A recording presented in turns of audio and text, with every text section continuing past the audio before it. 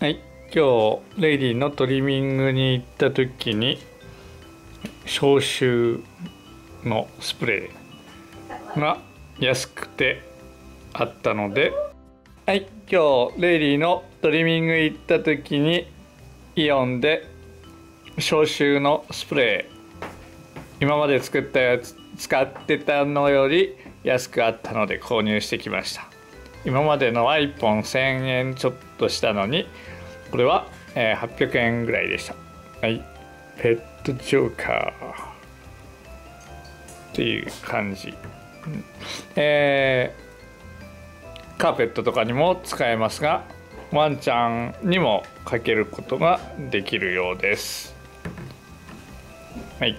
こんなのです。ちなみに匂いとかがあるかどうか開けてみましょう。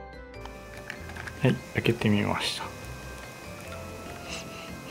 はい。全然無臭でし